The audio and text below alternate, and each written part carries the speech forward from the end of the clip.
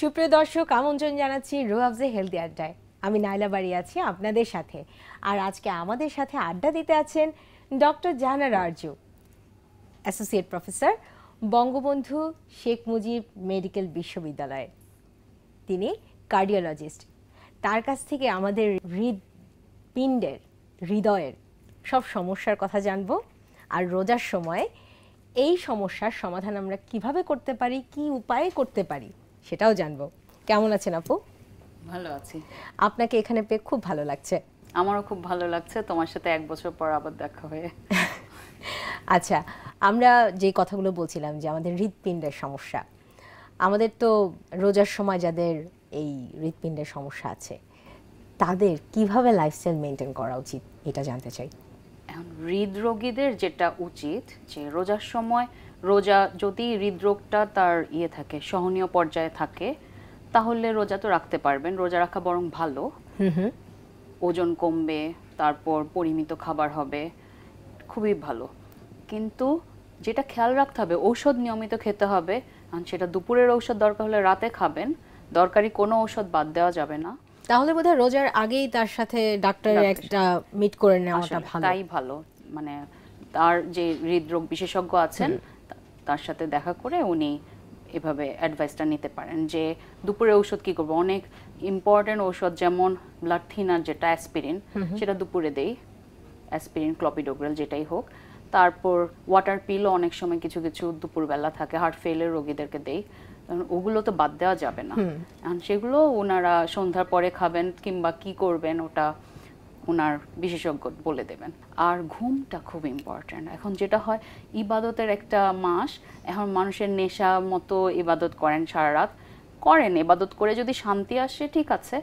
কিন্তু সারা রাত জাগলেও আপনি দিনের বেলা ছয় ঘণ্টা ঘুমোতেই হবে। অবশ্যই আট ঘণ্টা। এখন না ঘুমোলে যেটা হবে হৃদরোগীদের শরীরটা খারাপ হয়ে যাবে। আচ্ছা। ঘুমটা জরুরি। এখন সেটা কয়টা থেকে কয়টা ঘুমাবেন সেটা ওনার অফিস সবকিছু মিলিয়ে উনি ঠিক করবেন। আচ্ছা আর যেটা ইম্পর্ট্যান্ট সেটা হচ্ছে হাঁটা। হাঁটা বাদ দেওয়া যাবে না।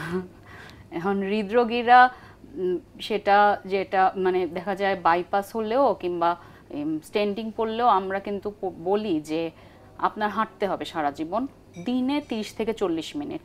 সপ্তাহে অন্তত পাঁচ দিন আচ্ছা। হাঁটতে হবে। তা এখন একটু জোরে হাঁটা। রোজার সময় জোরে হাঁটা একটু কষ্ট হবে কিন্তু একটা সময় মতো ওনাকে হাঁটতে হবে। পানি পরিমিত খাবেন। এই আর কি। এখন খাবারের তালিকায় আমরা যেমন বুট পেঁয়াজু এগুলো কিন্তু বাদ দিতে পারি। পেঁয়াজু বেগুনি এগুলো বাদ দিয়ে চিরা খেতে পারি। আমরা ওটস খেতে পারি। তারপর ধরেন কাঁচা ছোলাটা সেদ্ধ করে যদি পেঁয়াজ কাঁচামরিচ আদা দিয়ে খায় সেটাও তো অনেক ভালো। অনেক হেলদি তারপর ধরেন বিশেষ করে জার্মিনেশনের পরে মানে একটু অঙ্কুরোদ্গমের পরে হ্যাঁ, যদি হয় সেটা তো প্রোটিন আর ভালো থাকে। অনেক সময় অঙ্কুরোদ্গম হয় অনেক ভালো হ্যাঁ, সেটা তো অনেক হেলদি যদি স্বাস্থ্যটা ভালো থাকে রোজার মাসে যদি ওজনটা মানে ইয়ে থাকে কন্ট্রোলে থাকে তাহলে ওজন না বাড়ে এই ধরনের খাবার খেলে কিন্তু ওজনও কমে। কমে। বরং কমে। তাহলে হার্ট তো ভালো থাকবেই প্রেশার ভালো থাকবে ডায়াবেটিস ভালো থাকবে সব দিক দিয়ে ভালো। স্কিনও ভালো থাকবে। হ্যাঁ আমরা আলাপ করছিলাম ওই যে স্টেন্টিং এবং এনজিওগ্রামের ব্যাপারে যে রোজার সময়ে এইগুলো করা যাবে কিনা। আচ্ছা এমনিতে এনজিওগ্রামের প্রয়োজনীয়তা তখনই যখন একটা মানুষের হার্ট অ্যাটাক করবে কিংবা ওই ধরনের কোনো মানে প্রচণ্ড বারবার বুকে ব্যথা হচ্ছে ওষুধ খাওয়ার পরও তার তো এনজিওগ্রাম লাগবেই। তখন সেক্ষেত্রে যদি ইন্ডিকেশন থাকে তাহলে রোজা রাখলেও রোজার মধ্যেও করা যাবে এবং রোজা ভাঙবে না।